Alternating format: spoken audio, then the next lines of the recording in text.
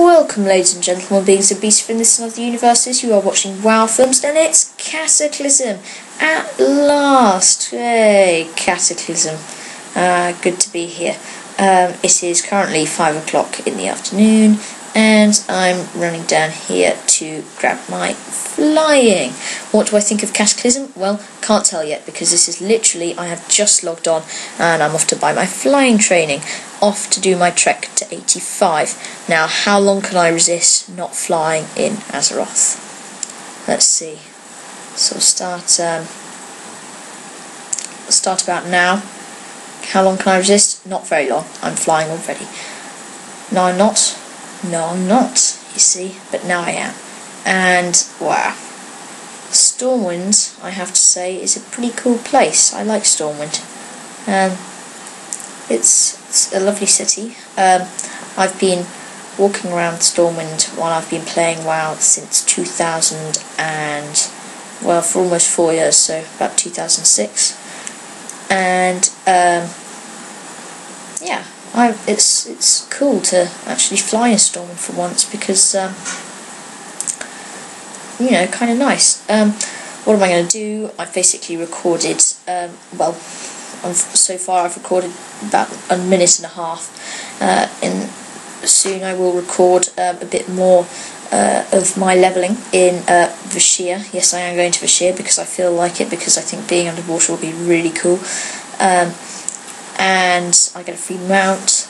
And after I've done that, so I'll just record some of it because otherwise, with my leveling pace, we'll have about 30 hours of uh, footage to watch, which, believe me, no one will do.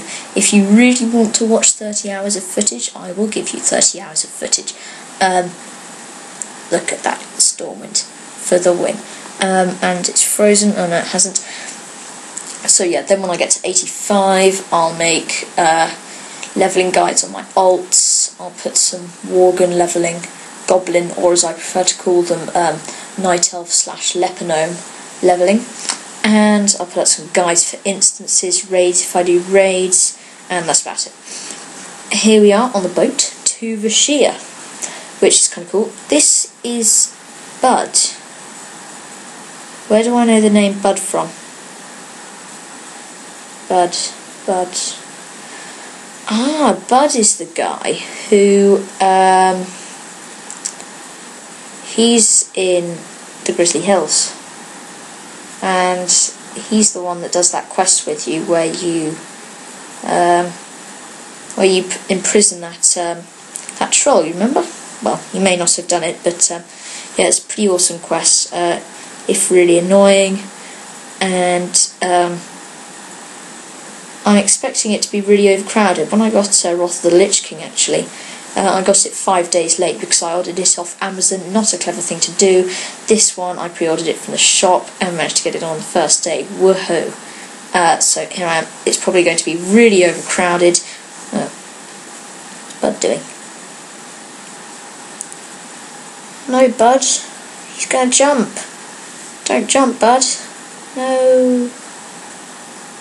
No, don't jump, Bud. Oh well. Bud will be missed. Dearly. Or not. Goodbye, Bud.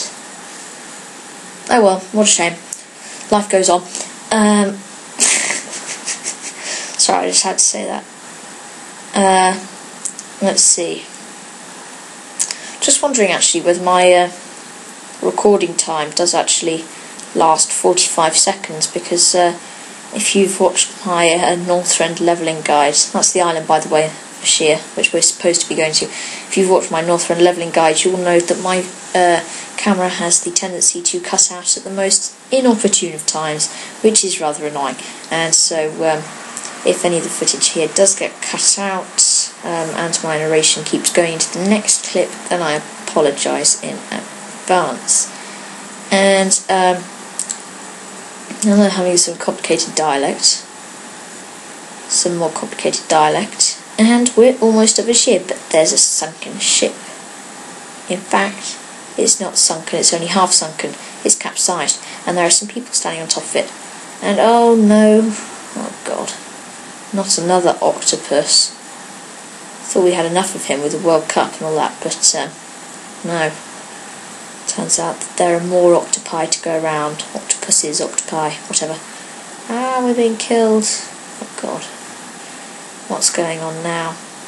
Uh-oh. Oh no, it's picked me up in one of its testicles, I mean uh, tentacles. Yep. Oh, it's thrown me into the water and I'm sinking. I can't move. There's a giant octopus thing. His name is, I think, what's his name? The guy who's supposed to be in that new instance, Throne of the Tides, but anyway, like Ozumat or something.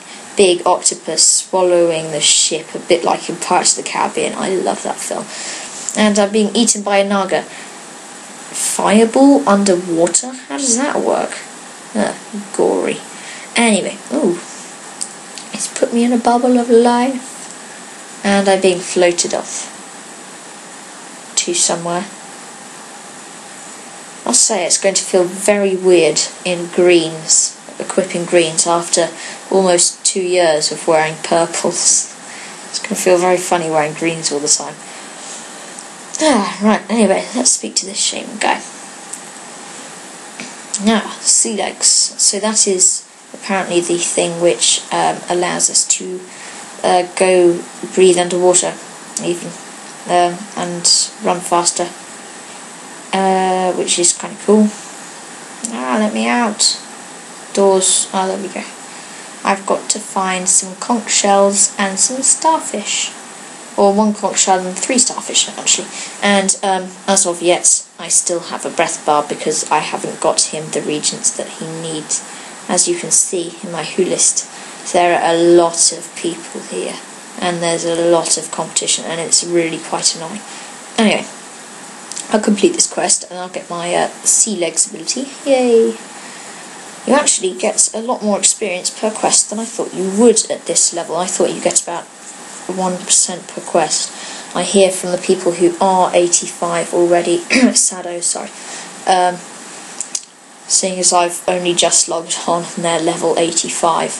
Sorry, but um, that's doesn't give you a very good indication, does it? Yeah, but they say you, at level uh, 84 you get about three quarters of a percent per quest.